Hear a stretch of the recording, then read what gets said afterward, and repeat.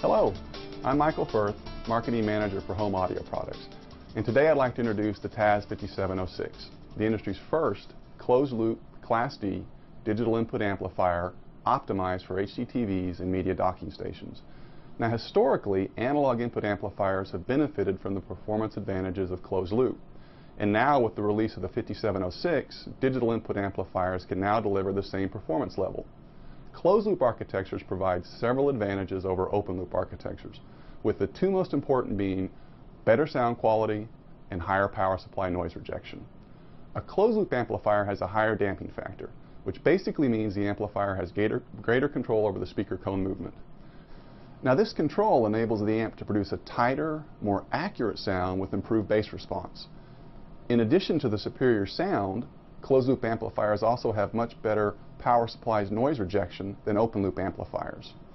Now a higher PSRR means the noise from the power supply is actually kept out of the audio band. This helps reduce power supply performance requirements, which in turn reduces system cost. Now the savings in systems cost is especially important in today's flat panel TV market, where cost pressures are absolutely tremendous. The closed loop 5706 can actually operate off the existing plus 24 LCD backlight supply, which is in the TV, entirely eliminating the need for a dedicated audio rail and providing cost savings. Now I'd like to ask Ryan to highlight the PSRR advantages of the 5706. Hello, I am Ryan Kerr, New Product Definition Manager for TV Audio Products. Today I would like to demonstrate the benefits of TI's closed-loop architecture with the TAS 5706. Here I have two EVMs.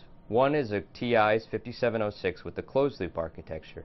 The other EVM is a similar configuration but an open-loop device, both with the same amount of supply decoupling and both two-layer boards. For the power supply, we will use a standard 12-volt switch mode power supply with 1 amp of rated current, an off-the-shelf component common in media docking stations. Let's go to the setup. Here is the TAS 5706 configured with a digital input and I'm capturing on the scope the supply voltage coming from the 12 volt regulator. As you can see with no load the supply is very clean. If I provide a 100 Hz sine wave to the input with a rated output power of 5 watts you can see from the scope capture that I have plus or minus 300 millivolts of ripple. This ripple will be rejected with the closed-loop architecture, but can cause quite a bit of THD plus noise with the open-loop architecture. Let's look at the graphs. In this graph, we have swept the output power from 100 milliwatts to 10 watts and captured the THD plus N performance of the TAS 5706 and a similar open-loop device. The red line is the open-loop device. The blue line is the TAS 5706. As you can see with the red line, the THD plus noise performance is greater than 1%. With the TAS 5706, we are less than 0.1% at 0.05% THD plus noise. This is a delta of nearly 2%.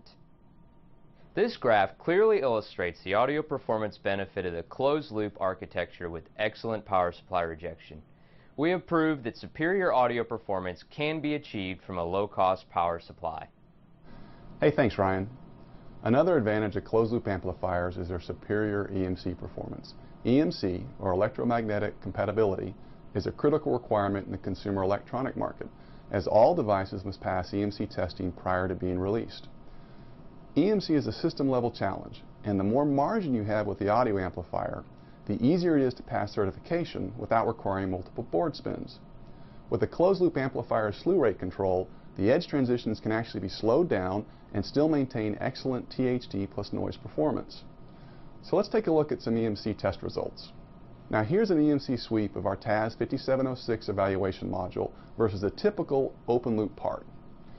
And as in the previous THD plus noise results that Ryan showed, the two boards are basically identical, so you're really just seeing the difference in EMC between a closed loop and an open loop amplifier. Besides its closed loop performance advantages, the TAS 5706 also has an on-chip digital audio processor. In this block diagram, you can see the programmable biquads used for speaker equalization and also the dedicated subwoofer channel which is used in 2.1 systems. The TAS 5706 supports stereo, quad, and 2.1 channel configurations, along with providing a PWM headphone and subwoofer output. In closing, TI is very proud to be introducing the industry's first closed-loop Class D digital input amplifier. The superior sound, higher PSSR, and improved EMC makes closed-loop architectures very compelling. And I encourage you to visit www.ti.com forward slash TAS5706 to learn more about the 5706 and request an evaluation module.